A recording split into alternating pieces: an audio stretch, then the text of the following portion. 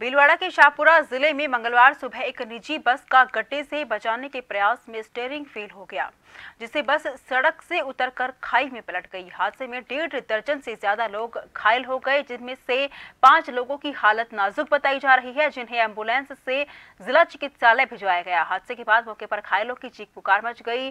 मौके पर दो से अधिक लोगों की मौत मौत भी हो गई। आसपास मौजूद लोगों की मदद से घायलों को बाहर निकाला गया। डीएसपी और कोटड़ी एसएचओ मौके पर पहुँचे। डीएसपी कोटड़ी श्याम सुंदर बिश्नोई ने भी एचएन को बताया कि निजी बस भीलवाड़ा से जहाजपुर जा रही थी।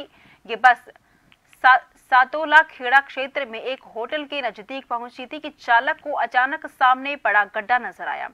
गड्ढे से बचाने के प्रयास में बस का स्टेयरिंग फेल हो गया जिससे बस बेकाबू होकर सड़क से उतरने के बाद खाई में जाकर पलट गई।